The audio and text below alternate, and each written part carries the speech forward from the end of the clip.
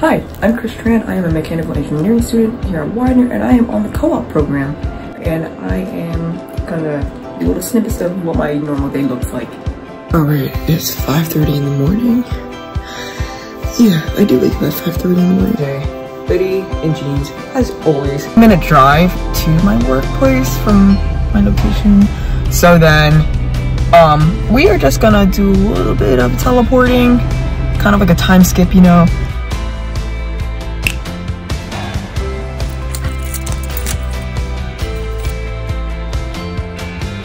So basically, these are all the graphics that I'm doing. I'm working on this one right now.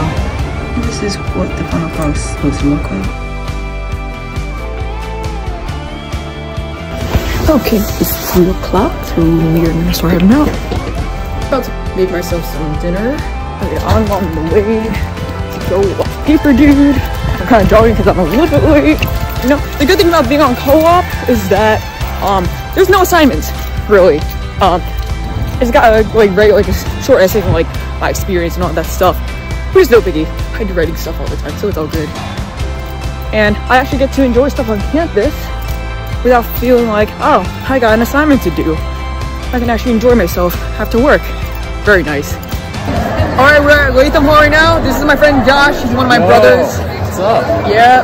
Yeah. And we are here at Deeper Dude. So that basically concludes like a day in life. Um, I just went to sleep after that. Thank you for watching and see y'all around campus.